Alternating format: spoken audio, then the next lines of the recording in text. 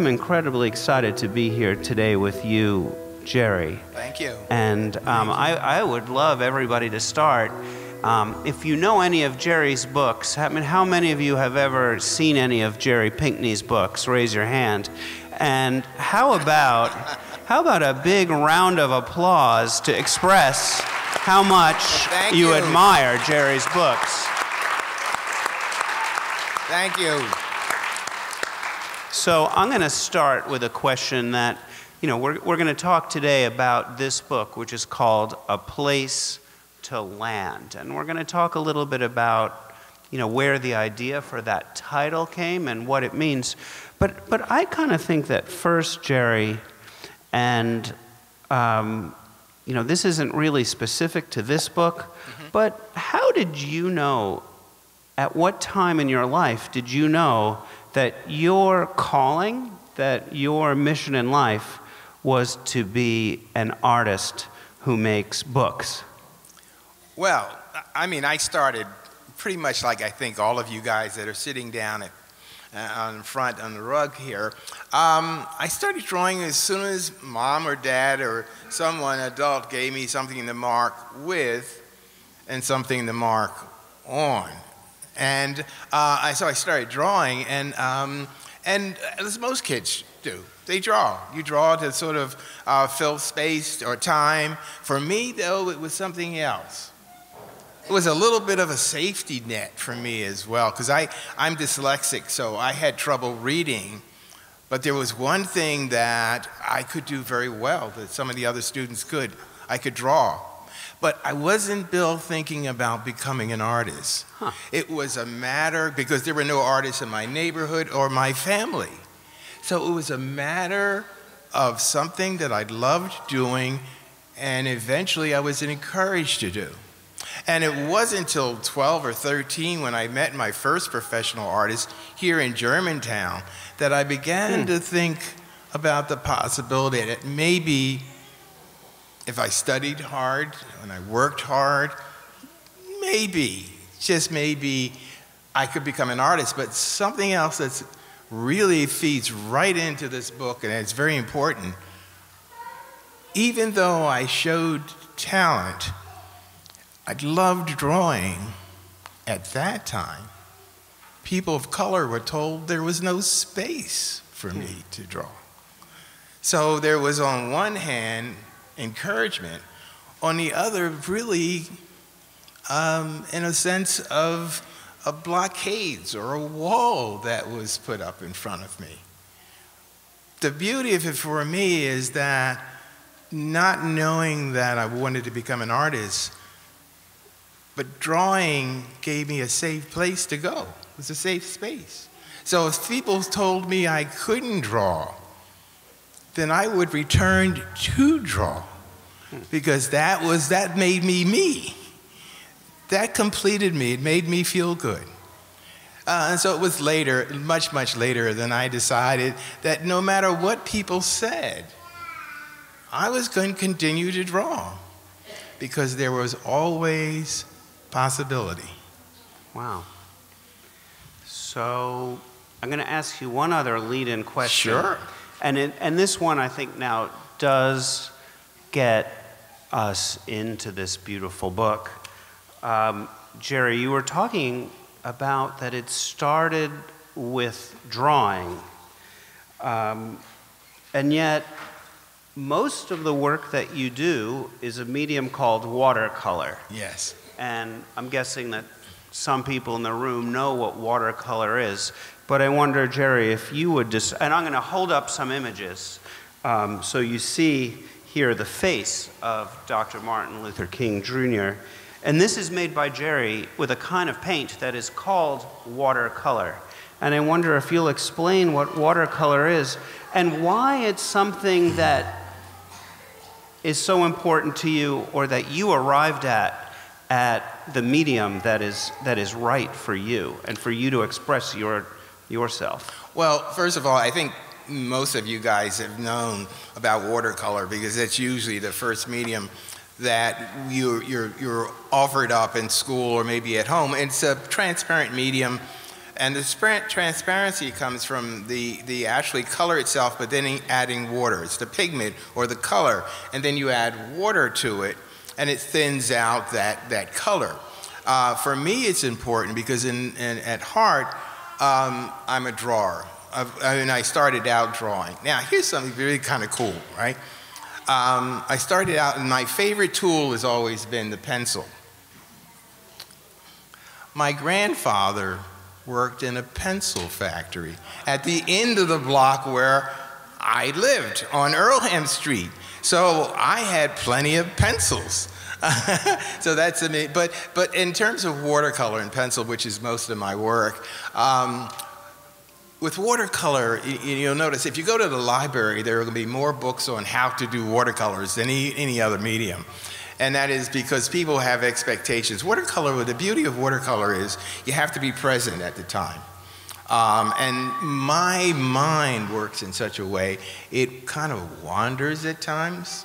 And I try to bring it back, and it wanders again. Watercolor, because it's so immediate, it demands my attention. Um, so it's a, it's a medium that fits my personality. Most artists will gravitate toward the medium for some reason or another. It just feels right for them, feels right for what they want to say. Watercolor is right for what I want to say. So, um, Jerry, you talked a little bit about pencils. Yes. And I'm going to let you in on a secret. I've already heard a version of that story, and I knew that Jerry's family worked in a pencil factory. Um, Jerry's grandfather Father, worked yes. in, a, in a pencil factory. The first thing I noticed when I opened the first page of this book is that Dr. Martin Luther King Jr., the first image you see is a man holding what can somebody tell me what is he holding? What's that? A pencil. Yes. Was that on purpose? Well, he actually, his, his, it's amazing uh, his, how things sort of come around full circle. He, his rough drafts were on pencil, with pencil on, on yellow legal pads. Now, I'm gonna, I'm gonna tell you something which is very interesting. Before I knew yeah. that, I have always done most of my thumbnail sketches on yellow legal pads. Huh. So, um, it, but that's, that's the beauty of, I think, opening yourself up. You, all these things seem to uh, fall into place. So, Jerry, one of the things that I know about you is that you do a lot of historical research yes. before you start any project. And by historical research, what I mean is going to libraries, mm-hmm. going to museums, going to places where historical things are preserved and looking at them, sometimes even touching them to understand what they're about. Did you see any of the actual notes that that I Dr. Martin Luther King I did made? actually. One wow. of the, yeah, one of the things that's so beautiful about uh, Googling uh, is that you can Google any almost anything. And at one point, I wanted to kind of connect to his own handwriting. At one point, I thought I kind huh. of uh, sort of imitated at times, uh, and then I backed away from that. But yes, there was a lot of a lot of research. Uh, not only in the you mentioned a library, which is a source of mine, but also I have a very, I collect books, and especially on black history and black culture. So the first library I went to was my own. And then I expanded on that. And then there was a certain point uh, when trying to capture Dr. Dr. King, I thought about film, which we all had access to as well. So I watched a lot of films. As a matter of fact, some of the portraits really were from when he was caught in a, in a, in a phrase or a word, and I would do a film shot, you know, huh. shot, and, and because I wanted this book to be immediate, uh, and I didn't want it to actually com- not necessarily compete, but parallel the fact that that was one of the at that time the most documented um, events um, with photography. Wow. Yeah. I, I think it's something that I admire a great deal in a lot of the artists whose work I really love. Um, I admire artists who are curious about things and who approach their projects with that sense of curiosity. And Jerry, I think that it's a great lesson that you give to all of us here in this room that when you're starting a project and you know want to make your own statement about something that that understanding the truth of it Yeah. is is is a foundation. Like what is the thing that really happened and how do we know? And what are the details about that that uh, make it come to life such as the idea and I didn't know this that Dr. Martin Luther King Jr. liked to work on a certain kind of paper and that he liked to use a pencil and that he would make drafts written out of what he was preparing to say. So I didn't know anything about Yeah. that, but I've learned that from you now. And I think it's something that, you know, makes the beautiful art married to the beautiful words in this book something special. Um, you know, there is thoughtful research that goes into understanding a historical truth. And that's in part of what the art is expressing. And I love artists that try to approach that. And Jerry, I would say you're not the only artist who is doing that kind of research before they get into a project. The artist Edith Neff, whose paintings are on the wall around us, you can probably see that she also worked from photographs of real places. And so, you know, there's a painting of, a, of an ornate, you know, sort of old fashioned looking hotel against the beach of an Atlantic City. And you can see on the label next to it that she took photographs of the actual building so that her painting could express something of the truth of that place, of Atlantic City, which is a beach nearby um, to Philadelphia, where a lot of Philadelphia people go to the beach. Yeah, I have a question.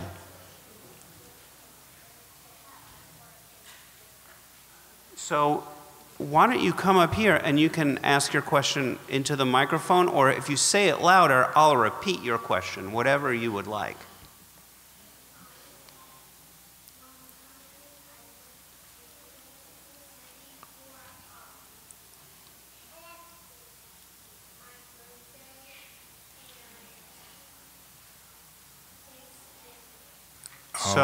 So, the question or the statement was that you know Atlantic City is a real place to you because you've you've been there, and I think that one of the nice things about this museum, because we're a museum of Philadelphia's artists, a lot of the artists in this museum have the same experience that you've had of going to that same beach. And it's kind of one of the nice things about the art that you can see here. You know, maybe you've been to that very same beach, or maybe you've seen the Mummers Parade on New Year's Day, for example. And so I like art that I can relate to, and I bet you do too. That's very cool.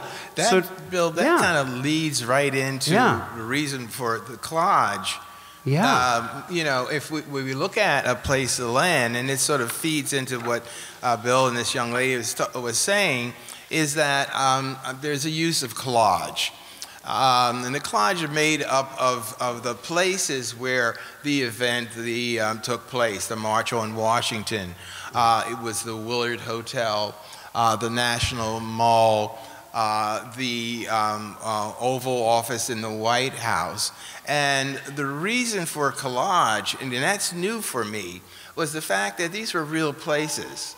And I wanted the reader and the viewer to connect um, to those places. So I thought, what better way to do it is to actually take photographs of those spaces um, and actually incorporate them uh, with my drawing and my, my watercolor. Now, you'll see that there is um, a way that I approached it, and that is that I, at times, I wanted the um, collage or photographs that I use to stand on their own, like the stained glass windows where we see uh, that represents uh, Dr. King and his ministry. But there are other times in the beginning where it's the Willard Hotel. I wanted you to also, I wanted to pose a question. Is this a drawing or is it a photograph? So they somewhat blend in. So I used both of those as a, and as an artist, you want a certain sense of tension in your work.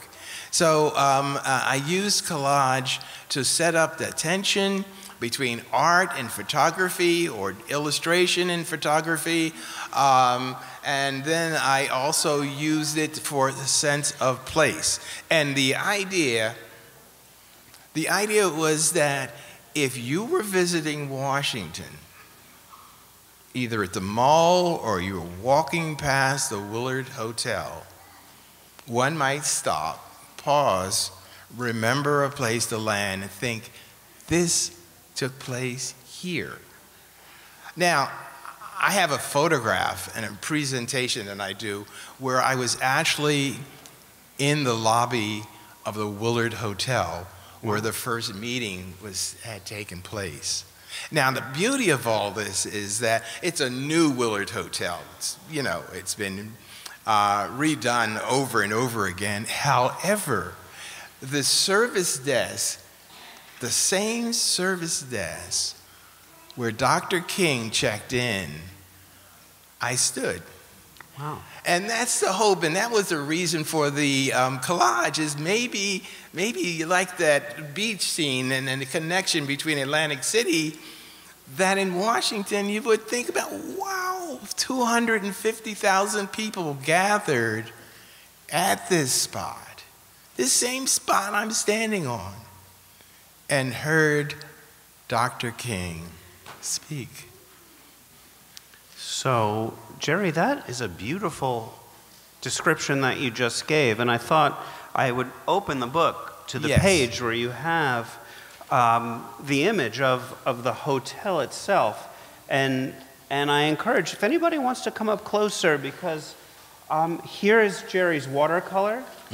And in this lower part of the building, this is what Jerry means by collage, right? So collage means what? That you would take images torn from- another or taken out of another.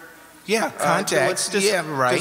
Place. In this case, oftentimes what I would do, in this case, it really what I did, because this is important, I wanted to show something that dealt with the interior of the Willard Hotel. But it had to be the Willard Hotel in the 1960s. It couldn't be the Willard Hotel of today.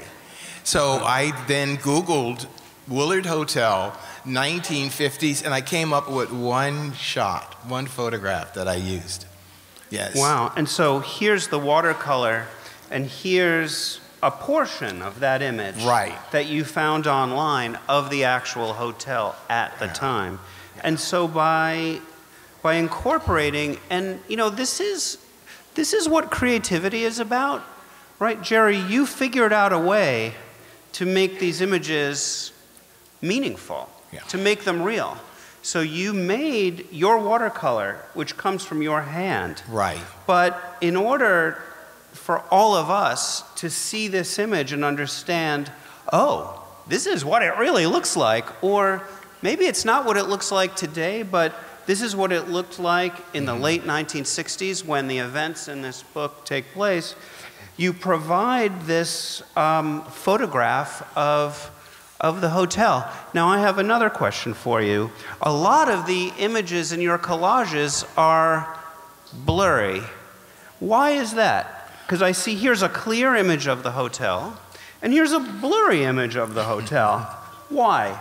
Well, it's interesting because it, it, sometimes I even carried it further. Not only is the image just blurred because uh, the process of, of, of copying the image over and over and over again. Um, now, why did I do that? Well, I wanted, there's a clarity and a crispness to a photograph. And I didn't want my art to compete in some level. I wanted them to knit together, to mesh together. There are times when I actually, when the photograph became very too strong, I would use sandpaper or steel wool to tone it down and to bring it into the same sort of focus or same value level as my art. So there's of things now, why did I Mr. Pinkney, why did you do that? I don't always know. It's the magical, it's the, it's the beauty of when and you're doing creative work. And you know, I can ask any of you young people, what happens when you're doing something and you're not quite sure how it's going to turn out? And it surprises you. And when I work, I look to surprise myself. Now, sometimes it doesn't always go that way. uh, sometimes it, uh, it, surprises me, but not in the way I had hoped for. Uh, but at the same time, so you redo it. But so why that? Now, here's another question I'm going to pose, and I want to talk about it because it's, it sort of parallels your question about the blurriness of the photographs. I've done collage not a lot, uh, but I have used it in my work. Sometimes I cut out through the images. I cut out, use, I use scissors or an X-Acto knife. In this case, all of the elements that I added are torn. I would take a photograph or something and I would actually tear it. And if you ask me why not use scissors, I wouldn't know the answer. I do know that there was a part of how I wanted to tell this particular story that maybe, hey, you know what? It why blurry? Mm-hmm. Why torn? Softer. And I tore the images to give them a softer edge. Because then that's the same why, reason why some of the photographs are blurred. It also incorporated something where I controlled something that already existed. And so it allowed me to take something, uh, to appropriate something, to borrow and make it my own. Yes. Yeah. Well, that, that's so, it's, it's, it's amazing to hear about this process because, you know, I think one of the great things about art is that, you know, different people see different things in it. And, um, you know, when I'm hearing you describe your process, I'm thinking about, you know, what I see in the image. Yeah. And I'm looking at an image of a hotel that's, you know, about 50 years old. This, mm-hmm. that you're yes. depicting something and you're depicting events that happened, you know, more than 50 years ago. Mm-hmm. And, you know, when I saw that blurry image, I thought, oh, so when we think about the past, you know, we're thinking across time, and sometimes, you know, memories are blurry, and you have to piece things together from little fragments. And that's what you give us. And then you build the watercolor of the whole hotel out of the fragments of the past that you were able mm-hmm. to find. And I find that very moving. And I also like art where artists are honest mm-hmm. about their process. And I feel that everything that you just said, Jerry, that you can actually see the illustrations in the book and feel how you did that.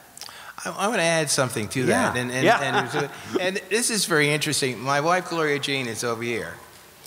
And she's seen the artwork and, and many, many times in, in all kinds of form. And she, was, she said to me this morning, Do you know there's, um, there's a little bit of a collage you guys can't see, but let me describe it.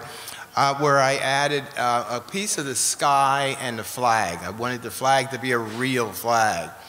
And so I tore, I found a flag over on a, in a calendar or something, and I tore it out and I added it. And then Gloria said to me, "You know that there's a there's you know behind the, behind the flag there's a is the sky is dark, so, and she said, Did you do that on purpose? and I said, What do you mean? She says, Well, you know, like where we are today and there's a darkness.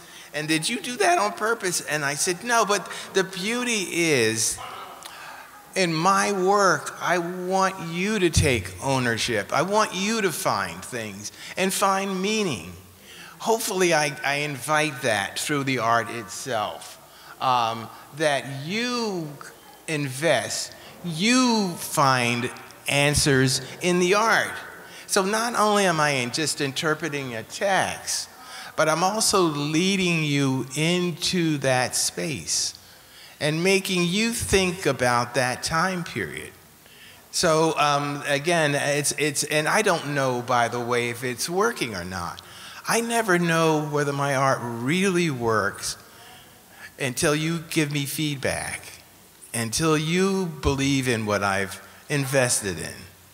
Now, there's some other thing, I, and I, and I, all of us here, and you young people, have seen images of Dr. King in front of a podium or a lectern, and he's speaking in the most elegant way, um, the most inspiring way.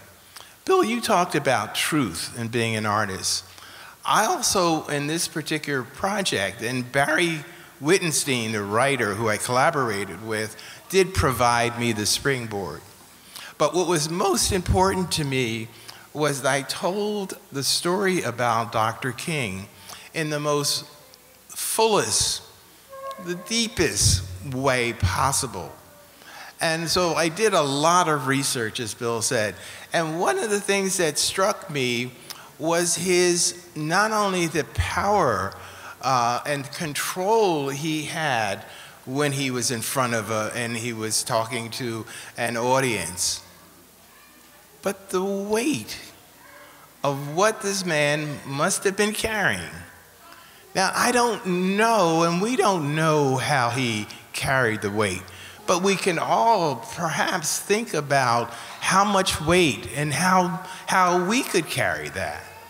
And so I wanted to speak to that sort of truth. I wanted to show him certainly in his all of his iconic elegant humbleness. But I also wanted to talk about his vulnerabilities. And in that process of research, there were a number of images that sort of just stuck with me. I, I couldn't shake those images. One of the images was Dr. King in front of, um, uh, with marchers. And we probably have all seen this photograph. He had just been shot before, and, and, and um, so he had threats on his life. So he's in front of this group of marchers, and a car backfires, and he winces. You see him duck. Now, that is not in Barry Wittenstein's text. But that's the fullness. I wanted to talk about this man who was as human, who had this weight. And actually, when I first started working in the middle of this project, I too became somewhat dismayed and down by the reasons why he was watching, the reason for his speeches, uh, his sermons, and then I thought about his vulnerability. And interesting enough, his vulnerability made him larger to me. Hmm. He was a bigger person uh, when he winced because I could connect in some way to what he was feeling. So there's this one illustration which I never knew whether it worked or not. Let's see, it's, it's always tricky, right? It has to be the next one. This is a portrait of Dr. King that most of us have not seen before. And it was important to me include he's worried. He's worried the weight is getting to him. And I knew that this was an important illustration.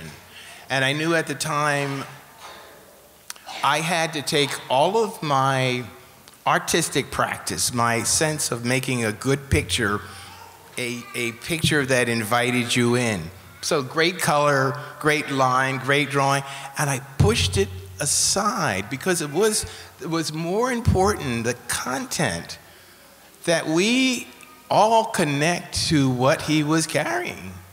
Hmm. And, and I wasn't, and, and even though it wasn't, it wasn't the illustration that grabbed me in terms of an artist looking at art, what did grab me though was when I shared it to other people and they would stop at this particular illustration mm-hmm. because then it wasn't about the art, it was about the man and it was about the time.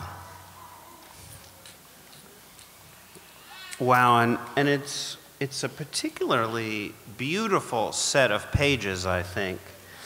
Um, and I guess, you know, I'd love to ask you, Jerry, if we can describe what's going on. I mean, you usually think of your books in terms of two pages at a time. Right. Like, what's going to be next? Yeah, I, there's To a, an image. uh, there's a, in a sense a juxtaposition there. I wanted to see show that where he's in his hotel room, he's alone and he's pondering and he's thinking about this message, and he's trying to balance. By not only that, I mean trying to balance the sense of history, what has happened, but he's also he's trying to shape a message is that's going to bring people together. And there was a lot of factions. You know, there was a lot of tension, um, and the book opens with even what he should say, and a lot of disagreement about what he should say. So he's carrying all this in the head. Now, he doesn't know that when he's going through this process, that the mall with a river of people, uh, 250,000 people are gathering. He doesn't know that at that point. He's in the Willard Hotel.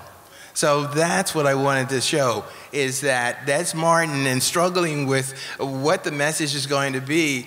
And then on the outside, that's sort of inside, outside. So inside is Martin, outside are all these folks coming to hear uh, the message of the messages of that day.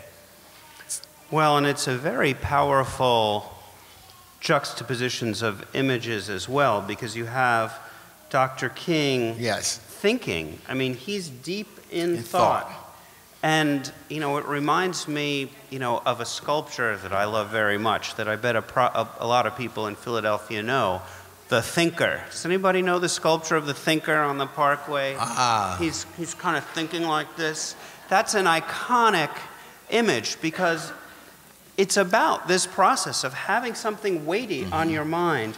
And here you've taken that and brought it to life in the specific history of Dr. King. And, you know, I, I see here, you know, there's a lot in this book, Jerry, about signs and Yes. signage, signs that people have made. And on this side of the page, you have what's on Dr. King's mind, I think. And Yes. you tell me if I'm wrong, but Yes. here it's, you know, whites only, coloreds this direction, no dogs, no Negroes, no Mexicans.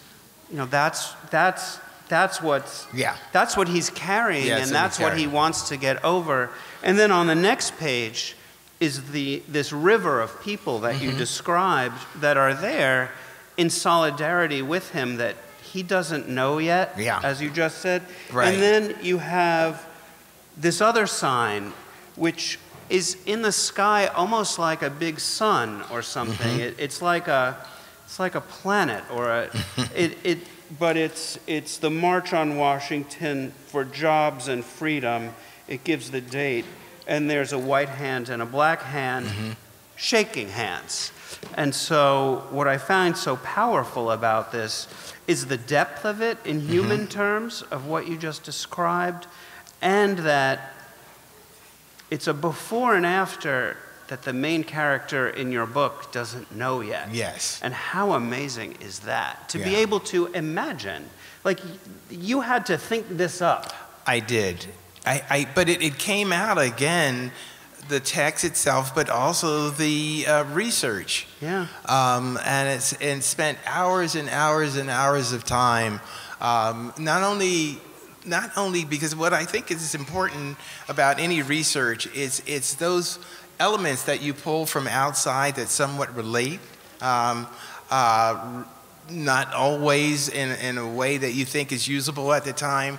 But my work is all about energy. So I also listen to music from the, the 60s, the music of the marches. Um, yes, that's all part of it. Jerry, um, I think it would be wrong if we didn't talk a little bit about the title of your book, A Place to Land. And I, would like to read the way the book begins because your book begins with a question. Mm-hmm. And I thought maybe I'll read the question that the book begins with and ask you to talk about that and how the title comes together. Mm-hmm. So you read on the cover, A Place to Land, Martin Luther King, Martin Luther King Jr., and the speech that inspired a nation. That's the title of the book, and you see the name Barry Wittenstein. That's the person, that's the author, the person who wrote the words. Jerry Pinkney, that's Jerry, who's sitting here, who's the person who made the images. then, and, and it is a great privilege to be here together with Jerry. Then you open the book, and the first words that you read are Martin Luther King Jr. was once asked if the hardest part of preaching was knowing where to begin.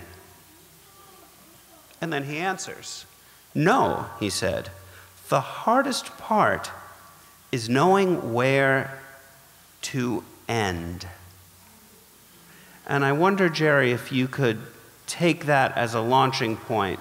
Well, I, I have to first, you know, say that, you know, uh, in collaborating um, with an author, in this case, Barry Wittenstein, you guys, first of all, do you know what collaborating is?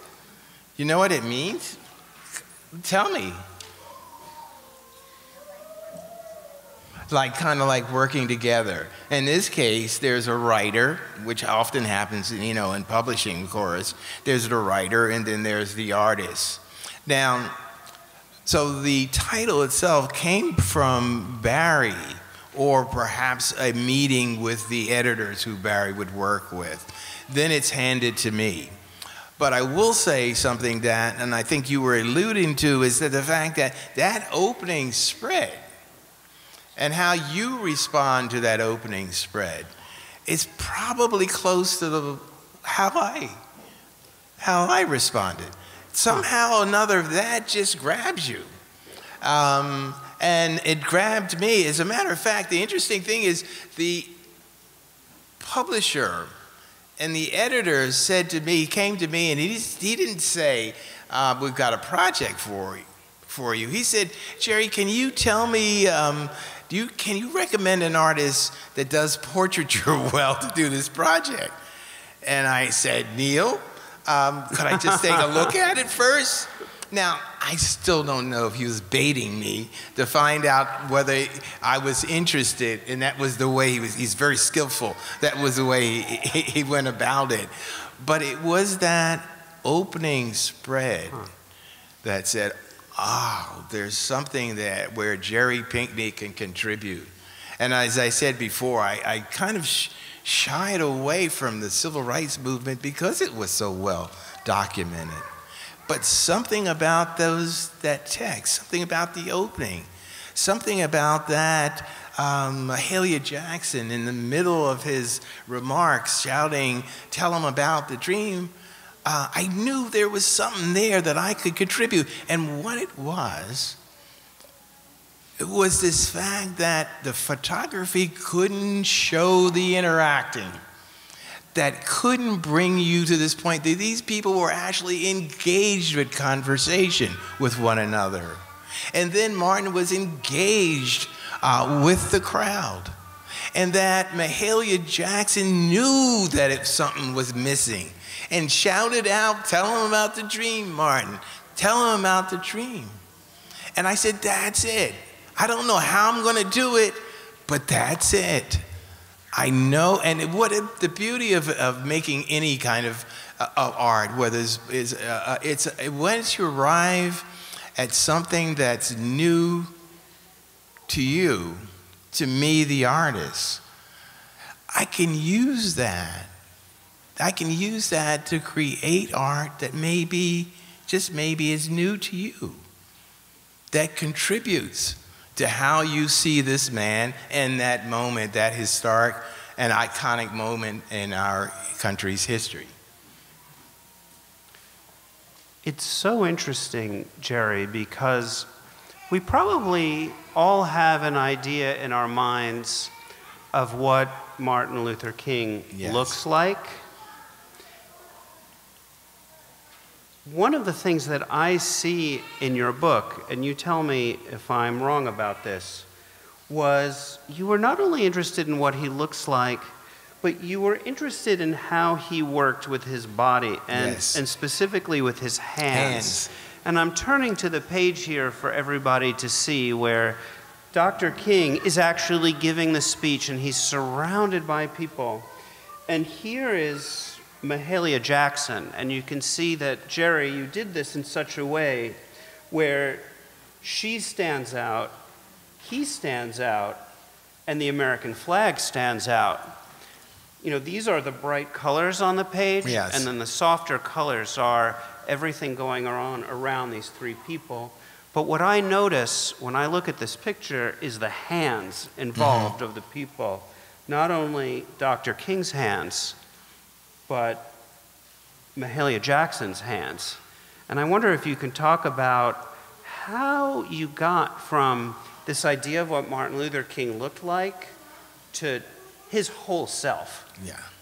Well, it's again w- uh, what the purpose I thought of what I could contribute was to show him as a breathing, active, searching, curious individual. And you just, this is a demonstration. You just saw me go. I mean, I, I couldn't help. I couldn't help but bring hands into it. I use my hands all the time, and and he he did as well. The, so I sort of, um, in order to make, you know, to give a sense of life, to give a sense of breath to to Dr. King and the people that surrounded him, the hands was a, a way of gesturing what was going on. So it was a visual kind of um, uh, tool that I use. And, and again, I talk with my hands, so that it, it, uh, it sort of um, uh, follows suit. Now, the other piece I want to talk about, because this, this page is open, most of the images were somewhat borrowed from other photographs. I, I mean, I had to work from photographs. There are two where I I held very closely to the photograph that was that we might find in, in, in, in history books.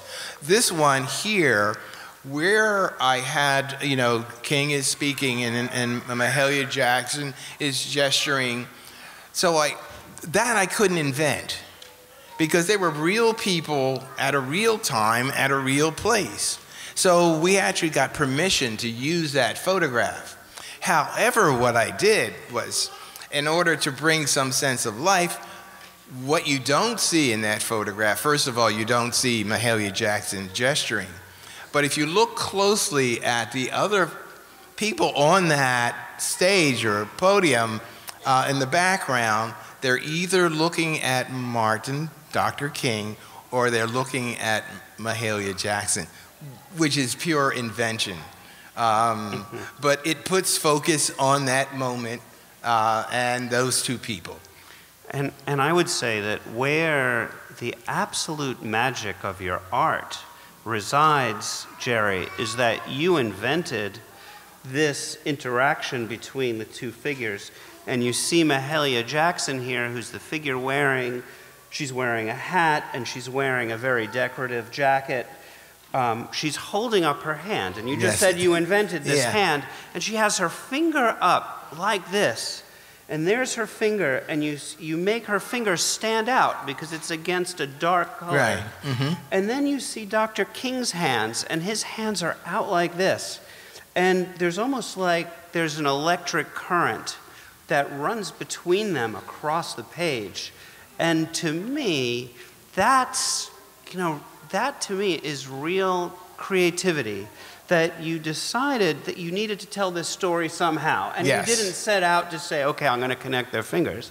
But you did say, I want to show Yeah. this this energy, Energy. this sharing, this collaborating, and I bet everybody who's here has probably had a moment like that where you could talk with somebody else who is maybe a very close friend or maybe your parent or maybe a grandparent or maybe you know, a babysitter or somebody else who's important to you, and you can understand what they're thinking and you can mm-hmm. communicate without using words, somehow or another, in this picture, you manage to convey that very human process. Mm-hmm. But in a historic moment where it means so much, because she's saying, Talk about the dream, Martin.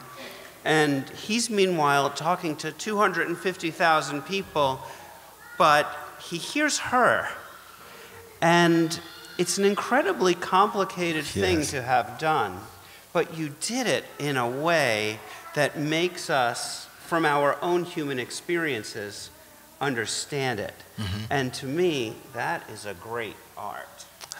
Well, thank you. I, and I, I want to say something. This is very, because you yeah. used the word art, and I, I, kind of talked about it a little bit, but I want to go back and, and say that I never knew at this particular, in this particular project, whether it was working or not. Gloria can, again, attest to one year of committing myself, an investment in something I truly believed in uh, a person, Dr. King, a time, the March on Washington, the blossoming of the civil rights movement and all of its struggles and beauty at the same time. And I wanted to talk about that through pictures.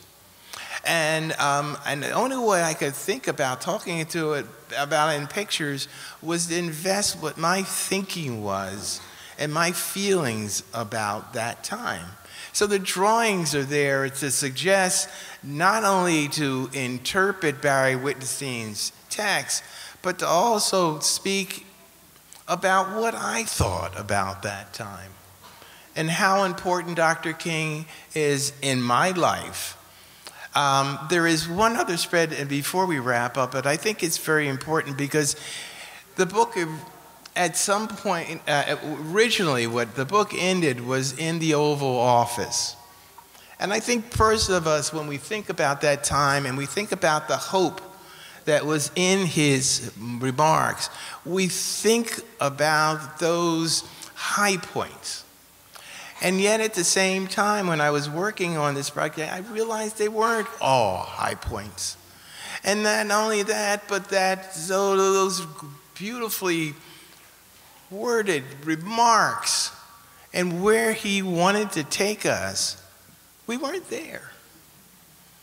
We weren't there. And so I had to figure out how to do that. Um, and so, could I just read the yeah. last oh, couple yeah. pages? Because Please. these were added to the original text. A lot of it had to do with being a person of color and realizing that his words were for me and his hopes for me. So the White House and Kennedy, even though they played that role, they were also resistant to this whole thing. And then I asked myself, could those same remarks be given today? I came down on the side of yes. And that was very disturbing for me. And I had to work my way out of it.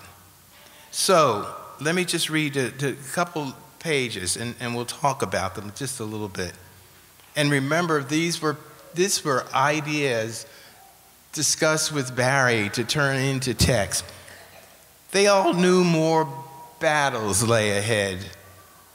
Angry late night meetings in hotel lobbies, frantic phone calls, tears, and blood to be shed, fighting every inch to cross a bridge to make Martin's dream come true.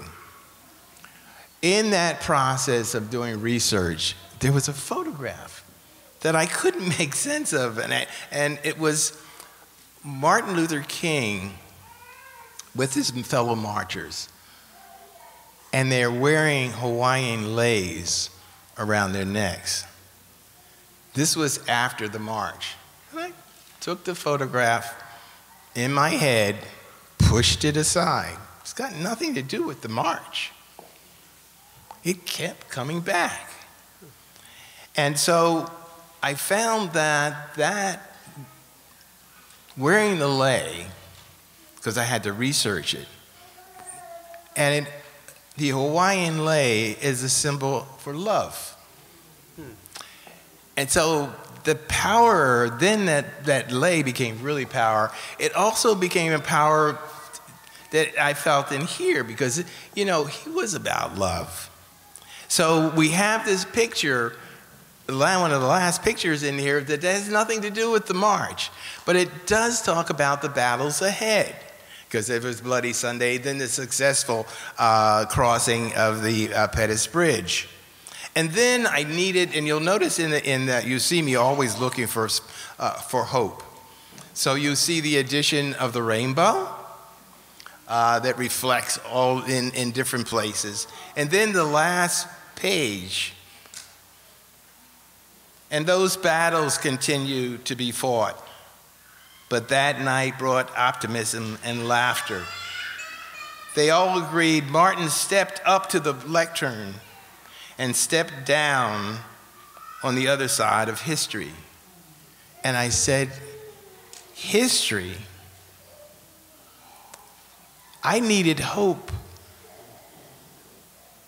We elected a black president.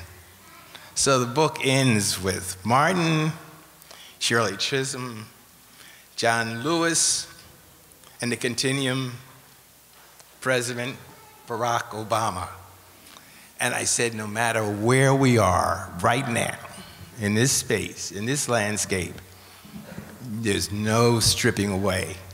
Not only that we elected our first black president, but what an elegant, moral human being.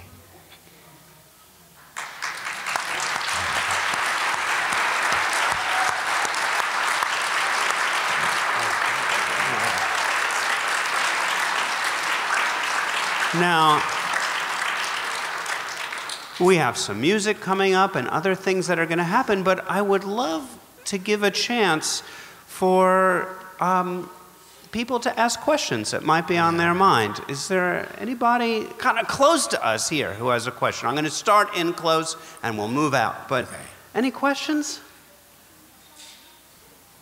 Okay, I, I, I, I see a hand right there. Oh, you did. oh, I got, thought I saw somebody raising their hand. Okay, you have a you have a question?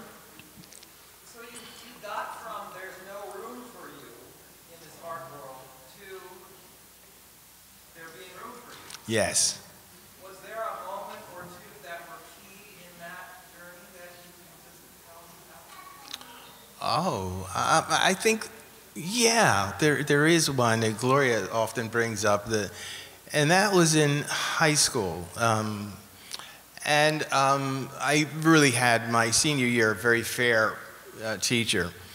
Um, but he was, he thought in, in many ways he was being helpful and his marking was great and even across the board, but there came a time when at that point Philadelphia had, the Board of Education gave out three scholarships to uh, art students, art schools of their choice. And um, he came, he had applications for um, these scholarships. Um, he gave them to all the white students.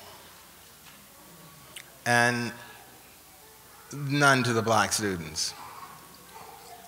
I didn't get what he was trying to say. So I went down to the counselor's office and I got um, forms. And I gave them out to the black students. That year, three. As I said, there were three scholarships given out. And there, by the way, I went to a vocational school, but all the schools had incredible art departments. It was a very competitive. Dobbins, we got two scholarships. One to my friend Warren Neal, who was African American, and one to myself. So I think that is showed that what I had believed in, um, there were two sides to it, and, and I had to fight for that right side. Um, so that's perhaps um, uh, as close as I can get to that moment, and I realized um, how important it was to stay into the fight. Thank you. Another question? Yeah. So the, the page where you had Tony Jackson being, um, standing out with, um, Martin Luther King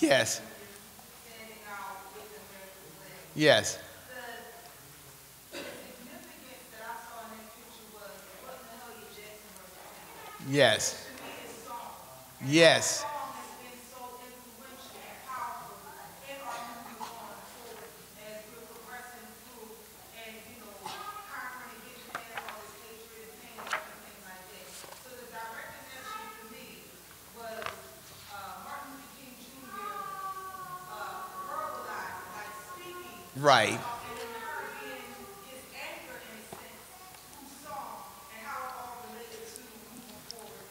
Yeah, I mean, that's beautiful. I mean, and, and in a sense, when you think about it, this came up yesterday about, in a sense, it could be a sort of a call and response. Um, you know what I mean? Is that all those, and you're right, that the, the, the, the weight of the, and the value of, of music as the uplifting force at a time when we, you know, I mean, it was the, it was that thing that gave us hope.